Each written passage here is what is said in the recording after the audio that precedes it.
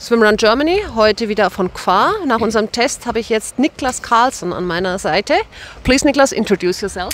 Hello, my name is Niklas and uh, I am uh, a swim runner since 2008. I did two, uh, first time 2009 and been swim running, swim running ever since. And uh, as a profession, I work as a government uh, investigator for um, health and health related uh, symptoms for diseases.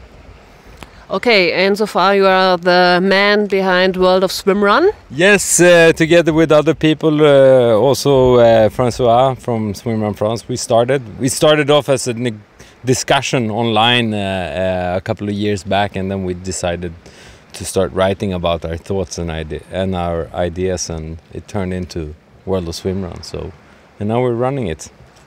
It's a great one. Yeah. Let's go to the SAUC. SAUC.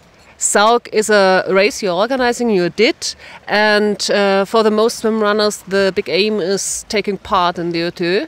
Yeah. But uh, the Ötillö is only a day stage in your SAUC. Yes, so, so SAUC stands for uh, the Stockholm Archipelago Ultra Swim Run Challenge, and uh, it actually started off as a, a series of training sessions um, that we were preparing. We were preparing for Ötillö. I think it was in 2011 and uh, uh, we were running sections of the course and then we decided to do other sections in the archipelago just to see new things and and uh, and these day excursions turned into like overnight adventures so we went out with a boat and we had a tent and then we swim ran for a full day and then set base and then we continued the next day. And then at one point we started talking about maybe we should do the whole archipelago from the north to south because it's it's squeezed in from the sea card. You can see from the north there's a lighthouse going all the way down to the south. So that's the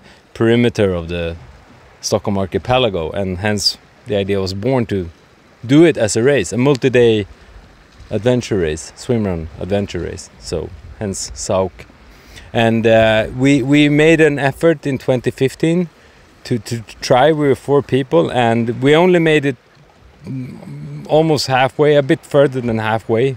I think it was 160 kilometers, and then we had to quit because it was just too tough. And uh, then I did it the year after, and then unfortunately I was alone because none of the originals could uh, go to the starting line together with me at that time. So I did it myself and I managed. It took me six days. Yeah. Great, really great. Um, when you think about swim runners doing the the SAUC, yeah. which would you be, um, they should able to run a lot, swim a lot. What can you recommend on them? Well, the the, the key thing here is endurance, of course. Um, if you do a race, you, you you're racing within a set time limit that you know that you will manage. But when you do SAUC, it's it's um, you need to think about all six days, and and since there is no straight line or there's not a race course that you follow, you have a starting point and you have an end point. But in between, you do your own choices. So if the weather allows, you, you go swimming because it's the shortcuts that you take through the swim. But if the weather is tough, like last year, you have to run over several more islands just to make up for lost time due to swimming. So so uh, that's the whole idea. And, and for a runner and a swimmer, what what you need to take into consideration is that you don't go fast, but you keep going. You you you rarely stop. It's like a diesel truck. You just keep on chugging. You know. So that's the secret behind it. Okay, so the SAUC is a really big thing. What is coming next?